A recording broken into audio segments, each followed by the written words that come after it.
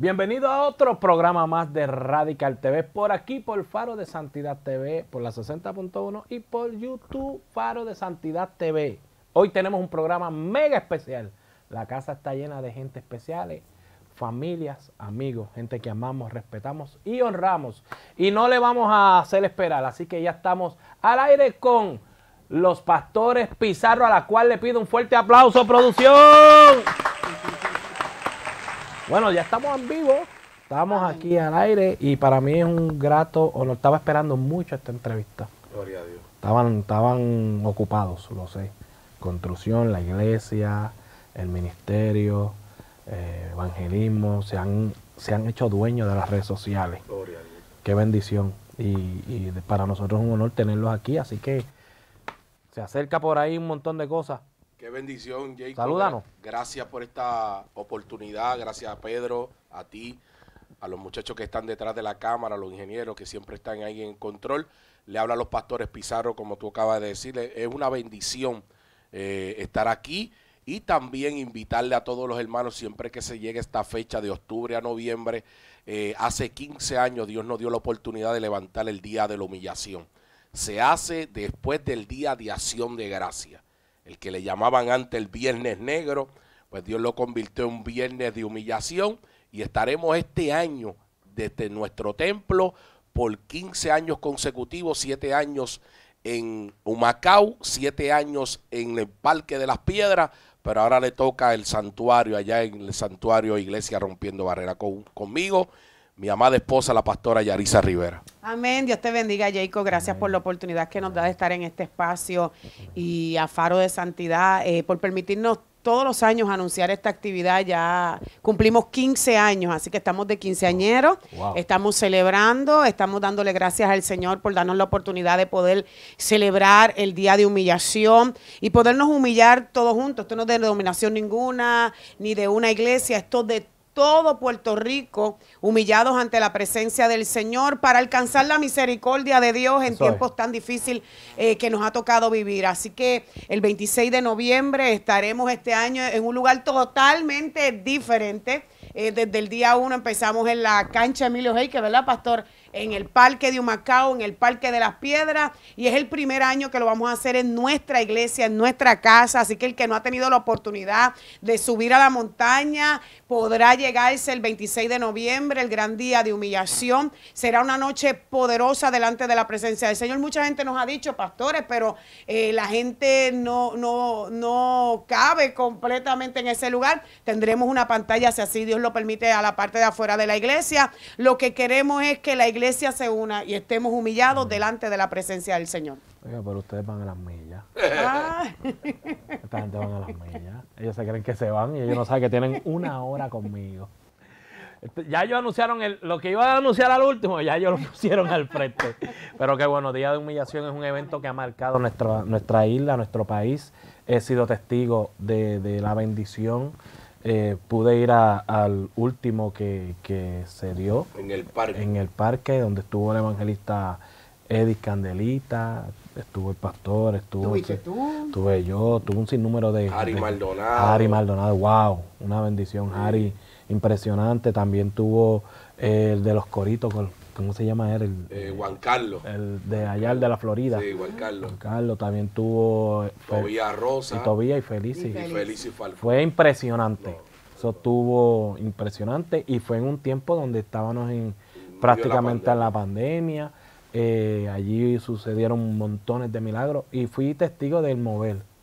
Y hace falta, hace falta eh, eventos donde el mover de Dios sea nuestro, nuestro primer plato en la mesa. Eh, Puerto Rico está pasando por sin número de situaciones que, que han aguantado hasta la bendición de Dios, diría yo, por estar entre guerras y entre dichos y entre cosas que están sucediendo ahora mismo. Y hace falta eventos que sigan marcando y marcando. ¿Qué, qué, qué proporciona eso en tu corazón? ¿Qué, qué ha creado tanto, tanta fuerza en tu corazón para seguir? Ya va para 15 años con este evento. Eh, Jacob, eh, una de, mientras tú hablabas, me venía a mi memoria que uno de los años que me marcó, no tan solo por lo que pasó en nuestro país a través de María, eh, que destrozó casi todo el pueblo de, Puerto Rico, es que el techo a, a nosotros se nos fue, pero yo no iba a hacer humillación ese año. No había luz en medio de Puerto Rico de, Wow. desde septiembre, octubre, noviembre, no había luz en las piedras, no teníamos lugar donde hacerlo. Me acuerdo que fue una actividad del evangelista Melvin González y al alcalde de Río Grande le prestó una planta gigante, porque tú sabes que no se podía conseguir planta. Y ahí, desde ese día, yo le dije, mira, habla con él, a ver, y una planta desde Río Grande no, lo prestó y le hicimos en el parking del viejo eh, shopping center de las piedras. Pero lo que te quiero llevar es, Jacob, que me marcó, porque yo estoy en necesidad, se me fue el techo de la iglesia, no estoy, a, a- a- como decimos ahí, al aire, y Dios me dice, hace dos años, de antes de eso, 2015, que regalara la comida que Wow. sirviera y no cobrara nada. Ese evento no tan solo es gratis. Ese, ese evento ha marcado que hemos bendecido a cuatro mil, cinco mil, cuando se meten tres mil, no sé, la cantidad que sea. La gloria es de Dios. Sean cinco, sean diez. Pero toda la comida, y tú has estado, Claro. el lechón, Wow. arroz con gandules, refresco, la gente se lleva, la gente sale de, salían de los shopping, llegaban allí a comer. Y ese año estaba yo entre dudas. Bueno, voy a vender la comida. Yo, me acuerdo que ese año fue marcado por la unción. ¿verdad? marcados por la unción. Y, y fue algo tan duro que, que yo estaba en duda. Yo decía, este año yo tengo que vender, porque tengo que levantar la casa de Dios. Tengo, Va- vámonos por partes, perdona que te interrumpa. Ese año perdiste no tan solamente el techo, todo lo que estaba dentro de la iglesia, todo, porque todo. yo, yo fui Sí. parte y vi. eh, fue una fue una desilusión, por decirlo así, porque tú acababas de construir la iglesia. y acababa de, inaugurar de, el templo. de inaugurar el En templo. agosto. Eso fue para el huracán María. Marca María. Eh, me acuerdo que vi, vi videos, eh, vi lo, lo triste, la, la verdad, la angustia que, que abargaba tu corazón porque conocemos tu trayectoria, conocemos que eres un pastor de fuego, conocemos que eres un hombre que te dedicas a, a las vidas, a trabajar. Y, y ver este suceso eh, fue totalmente increíble, como, como lo difícil ahora mismo, eh, la iglesia de mi papá, por decirlo así, veo a mi papá eh, afanado porque ya remodeló la otra parte, pero el gasto excesivo de la construcción, de, de invertir, mi mamá haciendo pasteles, haciendo ventas, metiéndose por aquí, metiéndose por allá para crearle casa a Jehová. Y de repente viene esta, esta, este huracán y de- de- destroza todo lo, todo lo que hay. Entonces, nosotros fuimos testigos de cómo, ¿verdad? Cómo se entristeció el pueblo. Porque no es lo mismo, ¿verdad? Por decirlo así, eh, tú, tú construir con tanto afán algo para que la gente se, lle- se lleve algo, un pedacito del cielo y verlo que de repente ya no está. Entonces con todo y eso vienes y levanta humillación. Hago humillación y te digo que estoy aquí en la sinceridad de Dios. No lo iba a hacer. Mi esposa dijo, no, vamos a hacerlo. Y no, estaba herido. Se fue el techo, voy a hacer humillación. Ya es gratis todo. Tú has visto que si ni ofrenda le damos enfati- eh, no, no enfatizamos en nada, solamente bendecir el pueblo, un acto de humillación. Y Dios me había dicho, bendice el pueblo. La gente misma mía me dijo, este año vamos a vender. Y Dios me dijo, no, no venda. Yo te dije que te iba a bendecir. Wow. Es algo tan tremendo que nos marcó, bendecimos el pueblo y luego en enero del 2018, a través de mi esposa que está al lado, que hay que honrarla porque fue la que ni sabíamos, Jacob, que había un seguro. Wow. Estoy dando una historia de lo que ha pasado en nuestra casa y en humillación. Pues Dios nos bendice. Eh, para 2016 teníamos que pagar un préstamo y Dios nos bendijo en do- enero 2018. Fuimos los primeros en Puerto Rico que todavía hay locales que no han recibido nada del seguro y. Dios nos bendijo con medio millón de dólares. Saldamos lo que teníamos, construimos de nuevo y ahora no le debemos a nadie. Tenemos un templo valorado en mucho dinero de bendición. Dios obra en senderos misteriosos. Dios honra. Y Dios honra al que siembra generosamente. Amén. Generosamente va a recibir la cosecha. Esto se trata, por eso que este año yo te dije afuera del aire, y le pasó a mi esposa, yo no hablo mucho, ella habla más. Yo, yo te dije afuera del aire, que en enero de este año, ¿sabes? Que venimos, llevamos un año y pico en la pandemia, sentí en mi corazón hacerlo en el templo. Mucha gente, pastor, se llena, tú lo has visto, se llena demasiado. Pero Dios me recalcaba en mi corazón y cuando yo te digo eso, te lo digo con toda autoridad y de aquel que diga Dios dijo, Dios no ha dicho nada, yo no me, tú sabes que no me mueve emoción. Dios me, dijo, me decía que quiere una humillación verdadera, una humillación tirada en el suelo, que allí lloremos de verdad, como tú eres, a, esto es radical, a moco tendido, a, lágrimas como era el tiempo de antes. Y eso me lo puso en mi corazón. Y eso es lo que yo quiero llevar este año. Allí no hay excusa y losa, lo vamos a tirar, vamos a llorar. Eh, bautista con pentecostal, pentecostal con el católico, porque esto se trata de humillarse con el alcalde que tú lo has visto que va todos los años. Brutal. Yo creo que es un tiempo de unidad y te felicito y hago un paréntesis de lo que tú estás haciendo aquí en los temas que está trayendo que nadie se atreve a traer, perdón, eh, eh, necesitamos esto, que el pueblo abra su mentalidad. La Biblia dice que el pueblo se pierde por falta de conocimiento. Eh, nosotros necesitamos que, que, vuelva esa unidad de un pueblo que yo pueda compartir contigo. Y a eso vamos. Y creo que este son, lo, como yo, mi, mi esposa, 15 años. Y creo que tú has sido marcado. A lo mejor hace 7 años, 6 años. Regresa este gran día. Porque este día no es de los pizarros. Este día es de Dios. La, la, Biblia dice: eh, si se humillara mi pueblo. Segunda de Crónicas 7:14. Estamos viviendo tiempos, como te dije ahorita, tiempos donde lamentablemente se siguen levantando sectas que están humillando la presencia de Dios. Eh, aquí hemos sido testigos, estamos ahora mismo trabajando diversos temas donde, como decimos nosotros, se le destapó la olla al grillo y, está todo el mundo viral con, temas que, que, han surgido aquí, que no son temas ¿verdad? que vamos a traer hoy. Pero necesitamos humillación, necesitamos volvernos a Jehová eh, el pueblo está confundido. Miles, miles, miles de jóvenes están confundidos. No en Puerto Rico, la Florida, eh, Nueva York, donde quiera que, se está llevando estos temas que están totalmente fuera del concepto bíblico, eh, se están llevando miles. Es un, es un tema que nos preocupa a todos, por eso se ha ido viral. Pero la respuesta a esos temas, humillación. Tremendo. Porque si no nos humillamos, como dice la palabra, no vamos a encontrar respuesta. Hay jóvenes sedientos. El gobierno está sediento. Hay pastores sedientos. Pero ¿qué pasa? No tenemos, no tenemos las herramientas porque la hemos, hemos cogido las herramientas que Dios nos dio para tratar de resolver temas que el enemigo estaba montando en el camino para desviarnos, desenfocarnos. Y yo me siento bien contento que ustedes estén aquí porque eh, ese, ese evento de humillación es un evento que trasciende. Y yo hoy me atrevo a emplazarlo, a decir que ese evento no tan solamente lo hagamos una vez al año, vamos a llevarlo a, lugares donde, donde ustedes están frecuentando, residenciales, barriadas, Vamos a llevar ese evento a lugares donde la gente, hay que llevarle a Dios a la casa a la gente. Porque el enemigo levantó una estrategia perfecta para, para embollar a la juventud, para embollar las emociones, los sentimientos.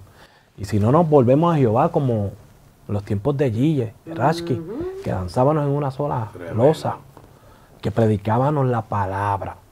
No necesitábamos una teología, no necesitábamos un diseño, unción. Yo soy partidario de la unción. Por eso me, llevo tanto contigo y con, con Yarisa, por, porque nosotros vivimos un evangelio, un evangelio verdadero. Y, necesitamos, y te emplazo aquí frente a las cámaras, que esto se va a virar. Yo te emplazo a que ese evento de humillación, vamos a sacarlo.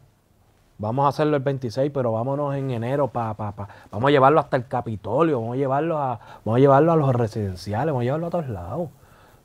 Vamos a hablar de, la unción de Dios. Nosotros no necesitamos el extranjero, nosotros necesitamos humillarnos. Y es una bendición, es una bendición que estemos aquí, que están en Radical. Y, me gustaría saber más sobre el ministerio, cómo, cómo estás tocando eh, los lugares. Hace poco te comentaba que, que te fuiste para Guayama. Guayama. Y en una caravana que yo ni como pastor ni creía. Wow. Desde las piedras, diferentes hermanos. Bueno, eso fue algo impactante, el residencial camino de Guayama, vida, una cosecha gigante en nuestra casa. Eh, eh, estamos haciendo el trabajo como tú estás haciendo, que está en Loíza. Nosotros no hemos dejado de dejar Amén. de hacer lo que nos ha dado victoria. Antes de que siga hablando, nos vamos a ir a una pausa y cuando regresemos quiero que nos hables de las estrategias que están usando la iglesia, eh, rompiendo barreras, está internacional. Gloria a Dios. Me encanta eso, me siento contento de ver amigos, ministros como Tobias Rosa, que está, quiere entrar al, ¿verdad? al- al ministerio. Veo mucha, muchos nombres de rompiendo barreras en, en las redes sociales y a mí me gusta así. Vámonos a una pausa y cuando regresemos seguimos hablando de eso. Amén. Y volvimos aquí rápidamente a Radical TV. Tenemos un programazo hoy con los pastores Pizarro. Y estábamos hablando de, de el evento de humillación. Yo estaba aquí emplazándolo a él. A él. Lo estoy emplazando. Porque necesitamos más de humillación. Y le, le estaba haciendo una pregunta de cómo las estrategias que él estaba eh, utilizando. Sé, sé y vi que estabas en, en Guayama. Eh, eres patriarca junto a, a tu esposa, pero también tenemos que hablar del, del hombre que me enseñó una frase que siempre la tengo pegada. Gástate para el Señor que se paga más. El gran Forti, nuestro amigo del alma.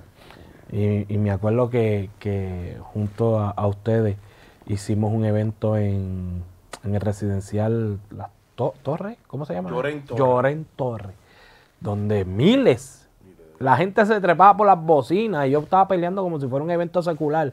Te vas a caer, me vas a tumbar las bocinas. Miles fueron allí sedientos de, de esa presencia. Eh, así fue que yo te conocí. Fue algo tremendo y quiero reconocer a- al pastor Edwin y su esposo Mayra que eran pastores asociados cuando yo pastoreaba en Cupey y son eran residentes de Llorén Torres, él es papá de Alwin. Ah, ok. Eh, ellos fueron el canal de nosotros llegar allá. Y Jacob, eso fue algo tan tremendo que allí no se podía pasar. eh, ahí, ahí se le llama el 4, eh, Plaza Panín, donde tú estuviste, el 12, el El 10, 20. y no se pasaban. Es el, ca- el residencial más grande de Ajá. Latinoamérica. Wow, sí, Llorén Torres tiene sobre 10 mil y pico de habitantes allí. o sea que eso es un Eso, país. eh, y no se podían pasar de un lado a otro. Wow. Nosotros llegamos con esa evangelización, gracias a ellos nos dicen, y cada día que íbamos, cada día que el lunes que íbamos, mataban a alguien. No decían, pasó esto", y ahí es que íbamos. Y llegamos y empezamos a hacer la paz. Luego que eso se, como tú dices, que se fue viral, porque la familia, el 4 compartió con el 10, con, la, Con el con, 12. con el 12, Wow. y terminamos en el parque, bueno, que fue que Forti llevó a al de cantores bíblicos, Cantores cantó, bíblicos. eh, Wow. y, y fue una bendición tremenda y tenemos que honrar a ellos porque fueron el canal de El canal. Y para nosotros llegar allí, juntamente se unió Forti, Forti te unió a ti, ahí los conocimos. Wow, sí. Es que el Evangelio trae unidad, lo que hablamos. Y cuando seguimos haciendo esto, y como tú me inspiras a mí, yo no he dejado de hacer de evangelizar. Yo creo mucho en la evangelización. Y fíjate, Jacob, y también me encanta la evangelización casa por casa. Antes de todos estos eventos de humillación, nosotros por cuando veía ese anuncio, hacíamos caravana. Llevamos dos años sin hacer caravana debido a, a- a la pandemia, pero hacíamos caravana por Humacao, La Piedra y Unco. No era una caravana política, sino que nos parábamos en cada punto y en el punto de las piedras, Jacob, y empezábamos a predicar. Wow. Y ahí se convertían vidas en los residenciales. Te estoy hablando a- de salíamos a las 10 de la mañana y terminábamos a las 6, pero en cada punto sacábamos el micrófono como a ti te Wow. gusta y predicamos el evangelio. Hay algo que me Wow. impacta, hay algo que me impacta de ti y te lo digo públicamente. Vi con mis propios ojos, estabas en un residencial cerca de aquí de Canóvana. Hace tiempito, hace como un año atrás, estaba Jonathan. Jonathan fue el que me dijo, vente que está, está, estoy con Pizarro aquí en un residencial. Y vi, creo que te vas a recordar de esto, acordar, eh, como una joven se acercó en un carro llorando y tú con estabas predicando, le abriste la puerta, la bajaste. Oh, sí. En las piedras. En las piedras, fue en las piedras. piedras. En las piedras. Fue residencial La Rivera. Ajá. Que Jonathan quedó impactado ahí. Yo fui con, con, con, con Ángel Gabriel, pastor Gavito, de, Gavito. de, de Caupa. Y, y yo vi como tú le abriste la puerta, vente, vente, vente, que, que Dios te está hablando, mira, está llorando. Y la persona se bajó eh, llorando, recibiendo aquella palabra que tú estabas estaba decretando en aquel lugar. Y eso es lo que hace falta. Eso es lo que hace falta. Eh, me, me impacta el, el que la presencia de Dios es capaz de, de hacer cosas que a veces nosotros, en nuestra parte humana, nunca vamos a poder hacer. Nunca vamos a llegar. Pero para que la presencia de Dios haga lo que tiene que hacer, Dios no mora en vasos sucios, en vasos de deshonra. Chico, y para pasarle a mi esposa que no ha hablado mucho. No, Está congelada Pero- ahí, está Pero me entristece, y yo voy a usar esta palabra Vamos. como tú acabas de decir, que todos los ministerios, Jacob, te estoy hablando, todos los ministerios en nuestro país nacieron De, de esa- de- de ese evangelio. de ese evangelio. Jacob, Claro. evangelistas, por no mencionar el nombre, Mm. nacieron con un megáfono, con una pasta, ¿te acuerdas, Jacob? Una pasión, una bocinita Con que, que ni tenía marca, pero queríamos predicarla a la vida. ¿Qué pasó? ¿Dónde están? ¿Dónde están? Dios nos bendijo tanto que se nos olvidó el fundamento De ser dar por gracia lo que por gracia hemos recibido. Y eso me entristece. Tengo que decirlo aquí a través de tu programa, me entristece. Y, y me, como tú mismo eh, me, me reconoces, yo te reconozco que tú no eres evangelista. No. Pero te gusta llegar al residencial, Me montar todo y evangelizar el evangelio. ¿Dónde están? Dios nos ha bendecido. Puerto Rico es la cuna de los misioneros, evangelistas, cantantes. El trampolín. Marcamos. Tú vas a República Dominicana y dices, este evangelio se levantó por ustedes. Tú vas a Haití, este evangelio se levantó. Entonces, ¿qué pasa? Yo creo que a través de este programa, yo le invito, hermano, vamos a unirnos. No tiene que predicar, cantar Jacob, ni predicar Pizarro, ni la pastora. Tenemos que empezar a unirnos para que el pueblo vea que todavía hay una iglesia que pelea por las almas, que predica el evangelio, porque como decíamos fuera del aire, se nos está perdiendo el evangelio. Los casa. jóvenes se están perdiendo. Baboni trae, perdonando que diga Claro. el nombre, trae, trae una cosa. eh, eh, hoy, ahora está la falda. Ya mismito, Jacob, lo quiero decir de aquí. Vamos, vamos, vamos. Ya mismito van a salir eh, eh, evangélicos con falda. Ya mismo. O sea, hombres con falda. O sea, porque todo lo de allá se pega y se supone que. No, no, no, ya eso está. Ahí está Yotá. Yotá no era el favorito El de. favorito de- Y ahora tú lo ves en las mismas redes sociales. Tú, yo lo busco en mi teléfono y tú lo ves. Yotá, pácata, con una falda. ¿Entiendes? Entonces, lo que tú estás diciendo es real. El mundo y su concupiscencia, la Biblia dice que eso va a pasar. Pero usted está ahora mismo, está detenido. Entonces, ¿dónde están los ojos de aquellos que antes batallábamos, luchábamos, estábamos, vamos para X caserío, vamos para aquí, vamos a pararnos allá, vamos para el parque, vamos a hacer esto, vamos a reunirnos como iglesia. Crecimos. El mundo sigue dando vueltas como, como acostumbra. El mundo sigue dando vueltas, se siguen posicionando. Ahora nos importa más montarnos en un avión y llegar al otro que, que... ¿Me puedo meter por ahí? Mira, hermano, te necesito, que si ah, no puedo, tengo viajes hasta diciembre. Eso es así. Tremendo, eso es así. Y Puerto Rico para abajo, Y la gente muriéndose. para abajo. ¿Y dónde está la responsabilidad que Dios puso sobre tus ¿Tú hombros? sabes por qué no hay? Porque lamentablemente nosotros no queremos entrar a los residenciales porque nadie quiere formar. La gente quiere gente formada. Wow. Porque es más fácil manipular los formados que formar gente Wow. como Dios quiere que realmente sean. Y Totalmente este- impresionante. e- e- Este, evangelio ya nadie quiere ir, pues Total. porque te va a tocar discipular. Y, y- y yo te voy a decir algo, yo me voy a entrar en algo que es un poquito profundo. Esto es un, esto es un, esto es un programa Radical. Me gusta, me gusta, me Pero gusta. por eso es que hay tantas divisiones de pastores. Porque es más fácil coger al que formó fulano y llevármelo para mi iglesia y acomodarlo, prejuiciándolo o diciéndole que coger a esta gente que va a ser fiel. Wow. Que te va a costar un poco de trabajo educarlo. Claro. Que te va a costar un poco de trabajo transformarlo. Que a lo mejor te sacarán un poquito de canas verdes en, que- en lo que lo encamina, pero serán fieles al Señor.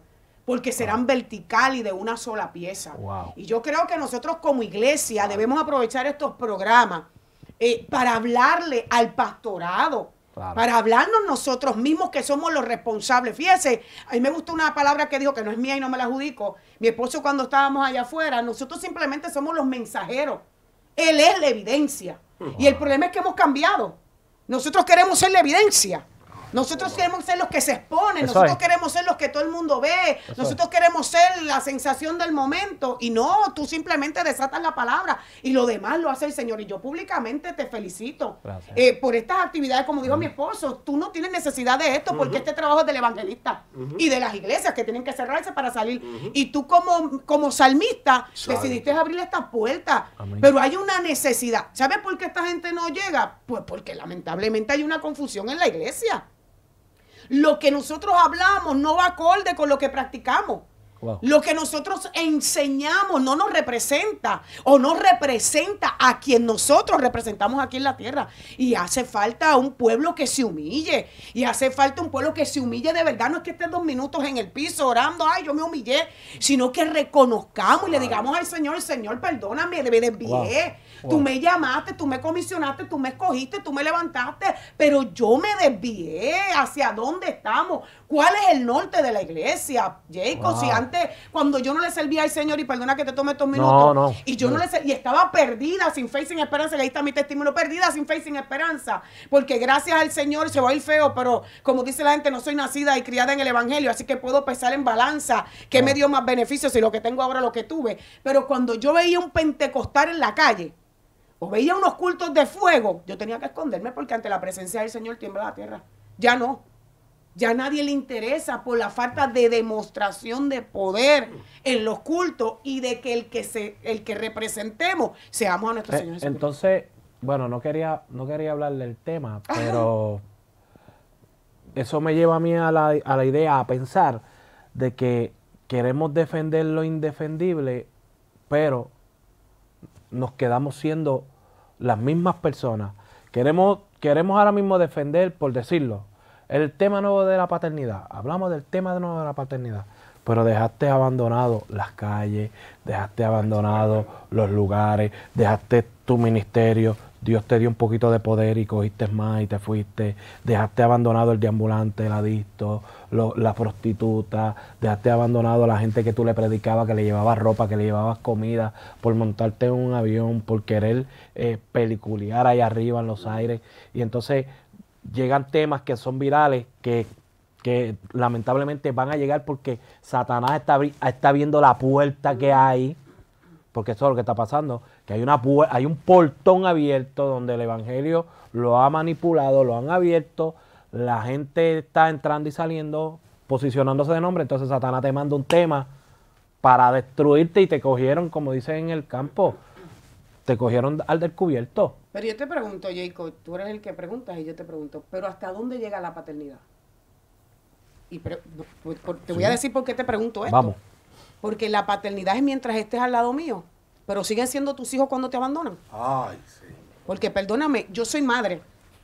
Y mis hijos son mis hijos. Grábame esto bien exclusivo, por favor. Mis hijos son mis hijos si son buenos y si son malos. Ahí está. Mis hijos son mis hijos si están en mi casa o están en una cárcel. Dios los guarde, seguirán siendo mis hijos. Ahí está. Lo que pasa es que esta paternidad exclusiva es mientras tú me beneficies. Ay, Pero cuando yo no sea tu primado, tú dejas de ser mi padre, entonces no es paternidad. No es paternidad. Porque el padre mío, que en el libro de Mateo dice que es el único padre, y dice que no le llames padre a nadie aquí en la tierra, que no sea mi padre celestial, sabía que yo le iba a fallar y aún así me hizo reconocer que él era padre soberano. Y fue a la cruz por amor a mí. Wow. Entonces me pregunto yo, este tema de la paternidad es un poco complicado. Porque tú eres padre mientras seas manipulado por mí. Tú eres hijo, perdón, mientras seas manipulado por mí. Mientras hagas lo que yo te digo que tienes que hacer. Pero en el momento que no estemos de acuerdo, ¿seguirás siendo mi hijo? Te lo dejo aquí en radical y tú le haces la pregunta a otro. ¿Seguirás siendo hijo? Vámonos a pausa porque este tema se puso, pero bien sabroso, bien sabroso. Pero sí, te voy a dejar en el tintero.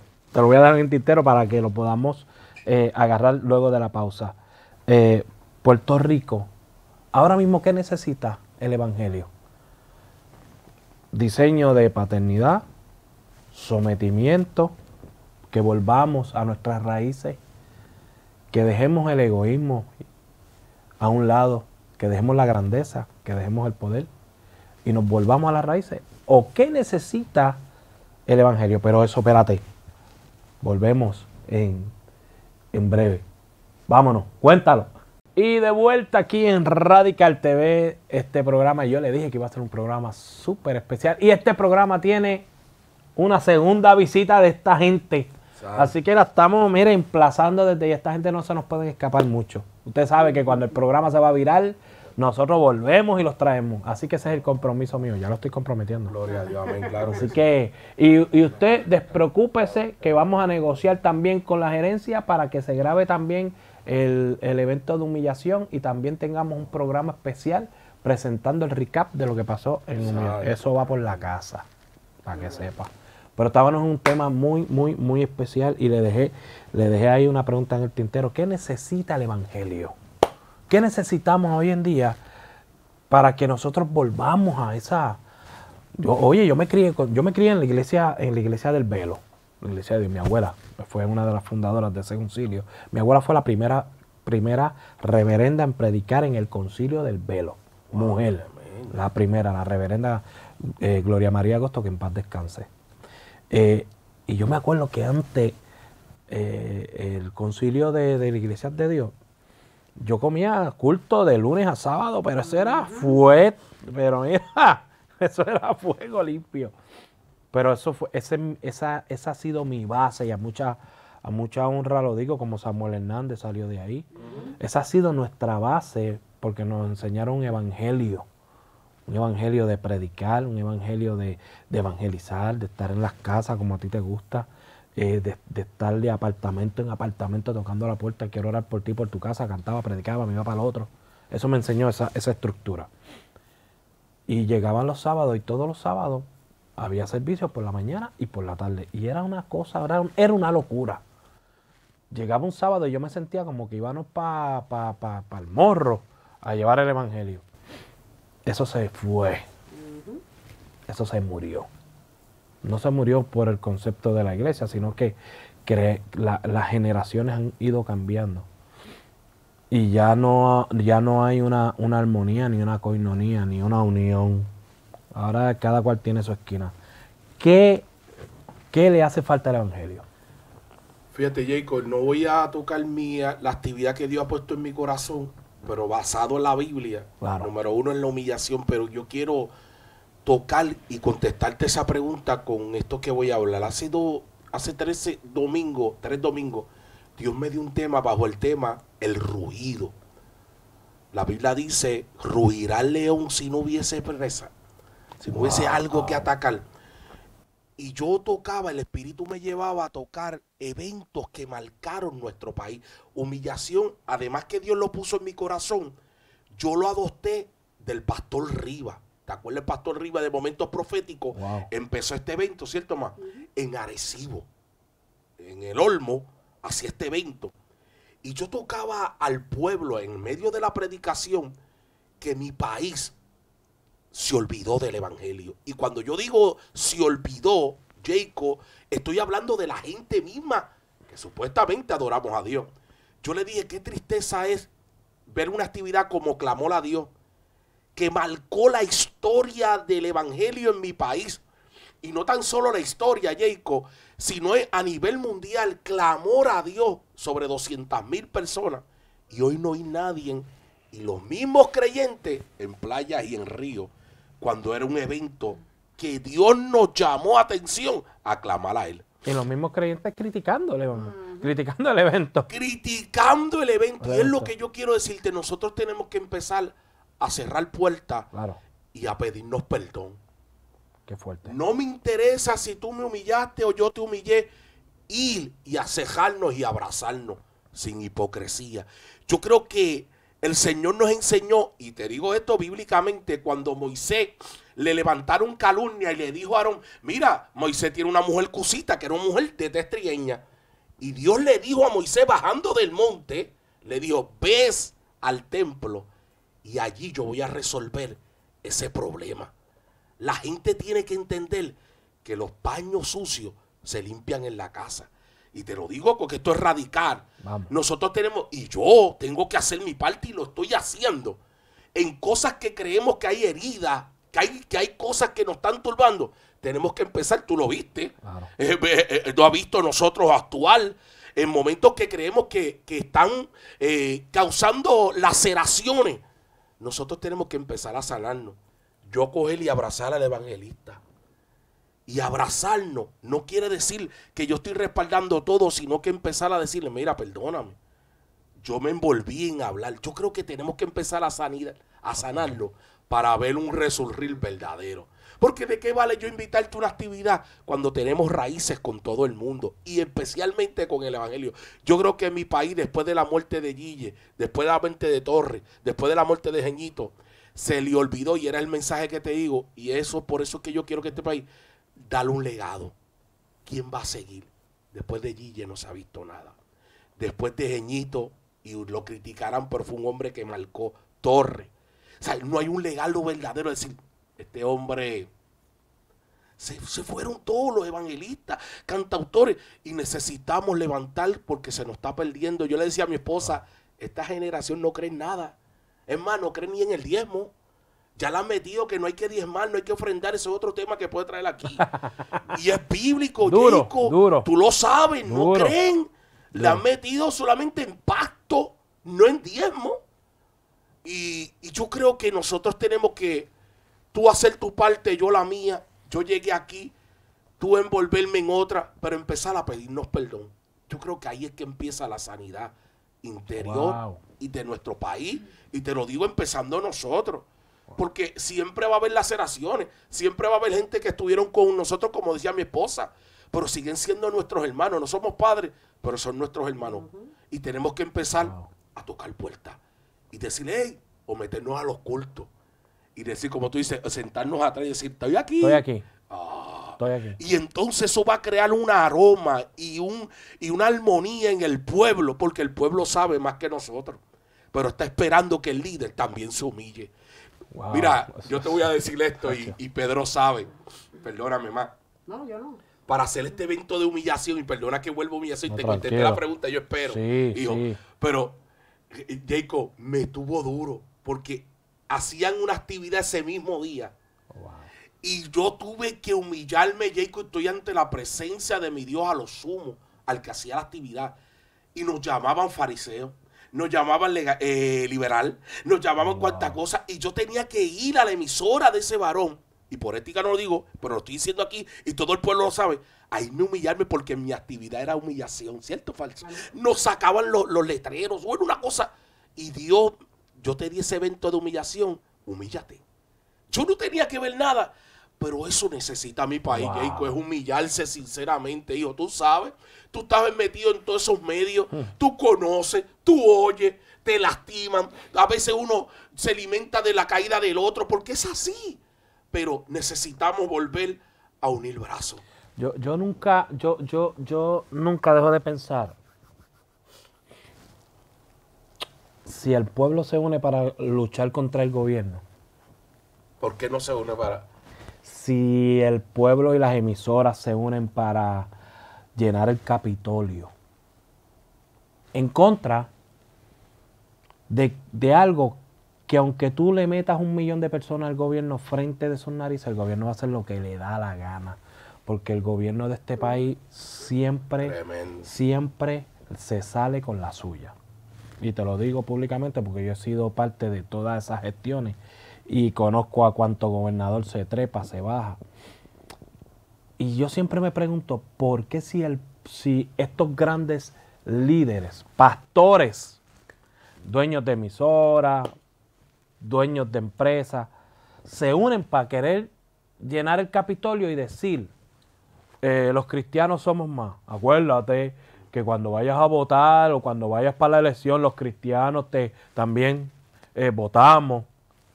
Entonces, ¿dónde, ¿dónde dejan a Dios? Por la política. Dejan a Dios por el gobierno, dejan a Dios por posiciones. En el gobierno hay montones de cristianos que se han metido al gobierno, lo digo públicamente porque los conozco a todos, que han, que han puesto primero el gobierno que lo que Dios es. Entonces, ¿qué pasa? Estamos viviendo una dejadez terrible. Clamó a Dios totalmente en el piso. No nos podemos unir para llegar allí. a clamar. Pero te voy a decir, te voy a dar la contestación Vamos, de vamos, eso. vamos.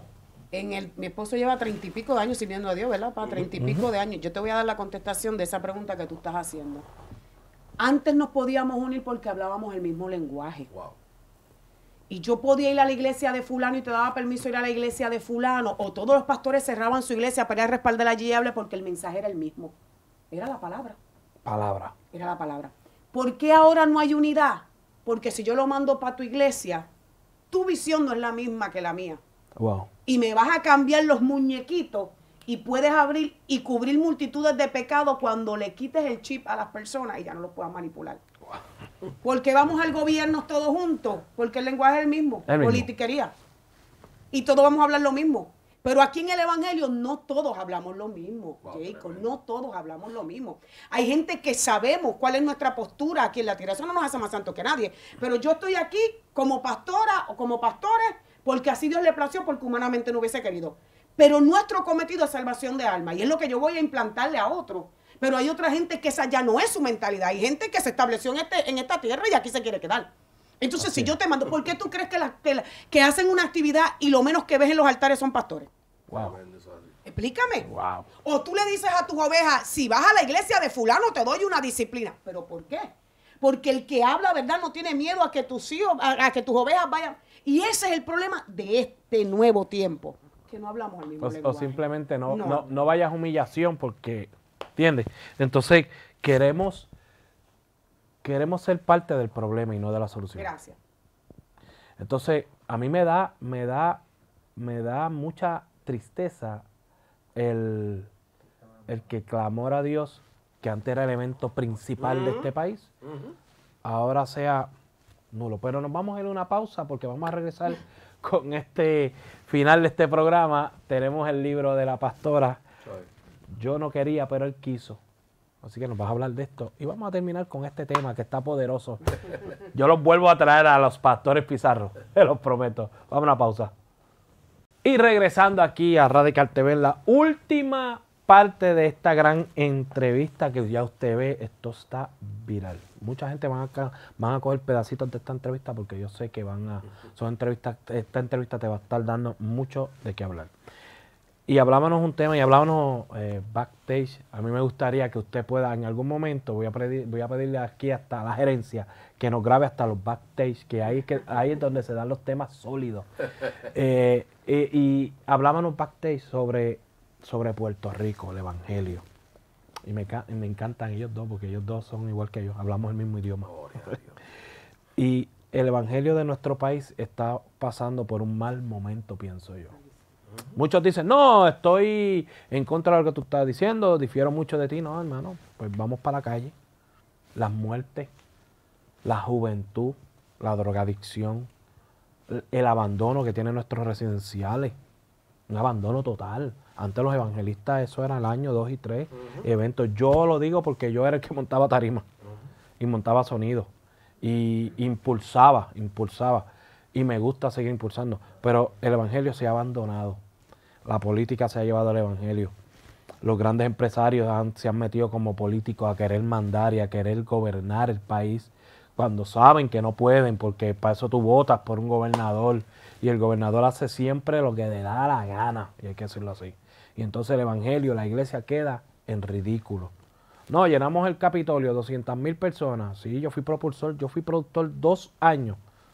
Ahí, con mi papá, Samuel Agosto.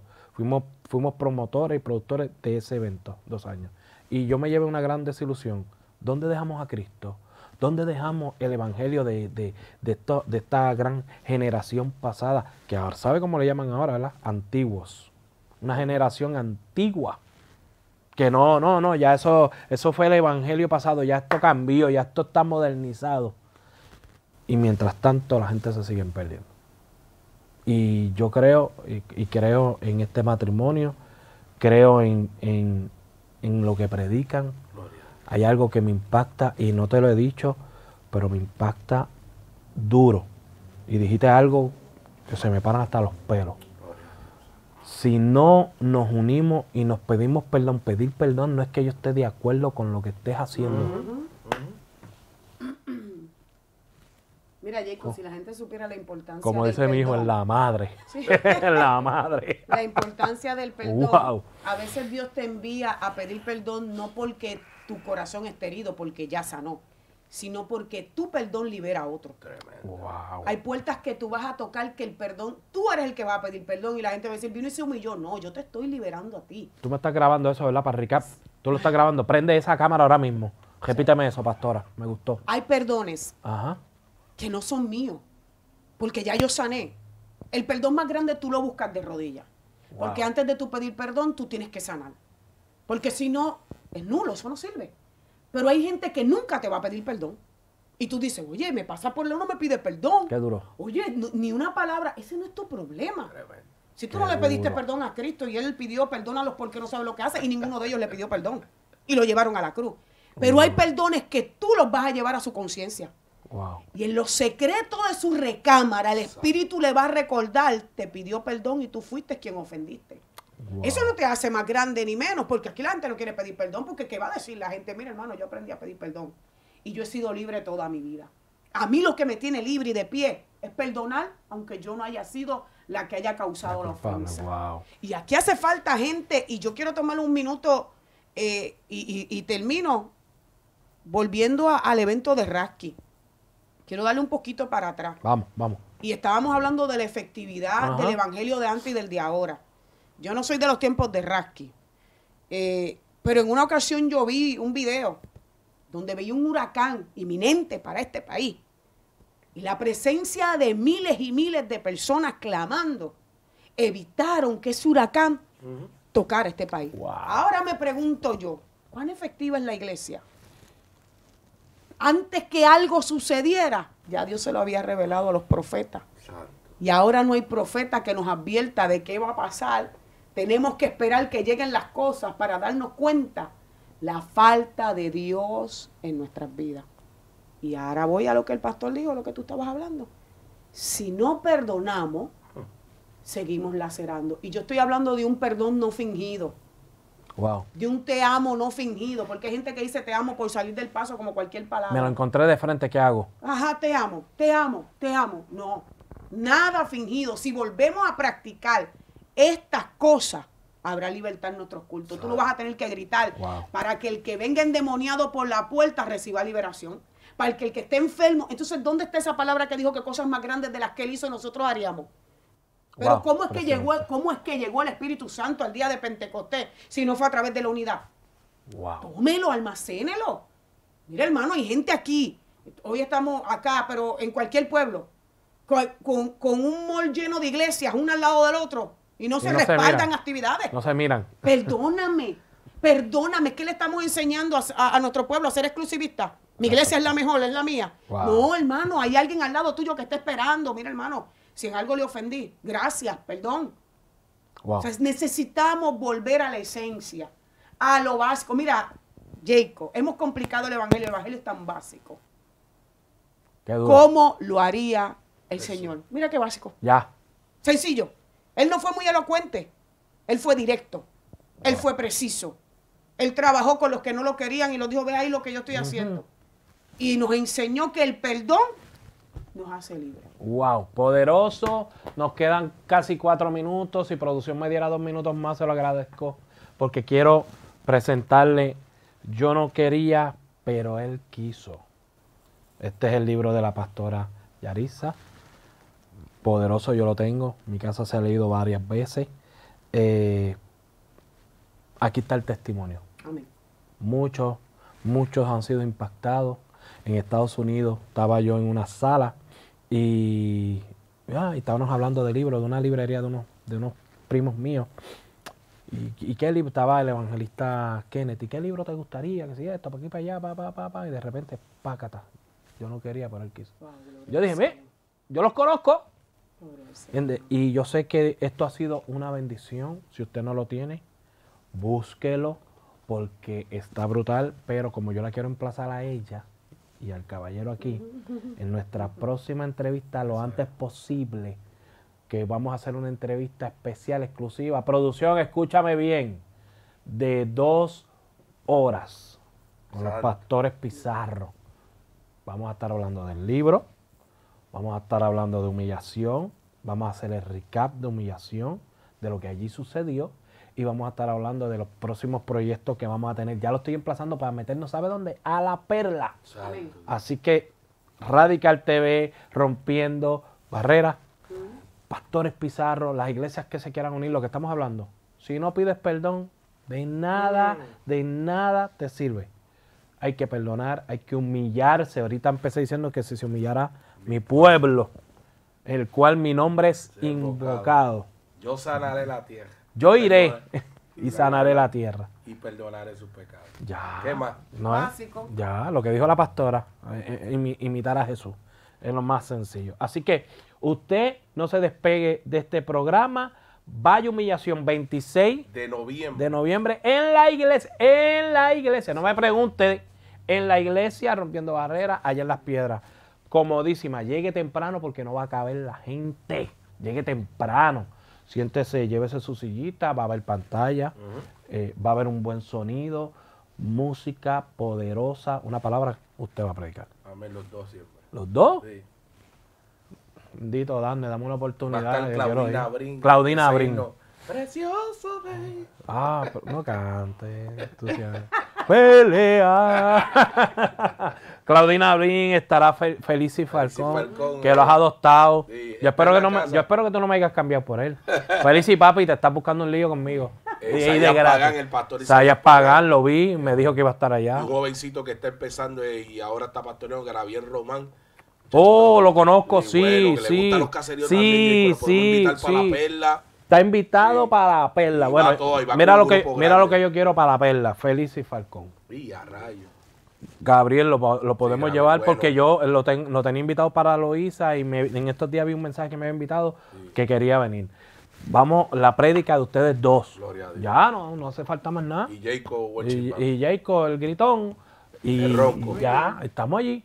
Así que usted no se despegue. Vaya humillación. Amén. 26 de noviembre. Vaya humillación.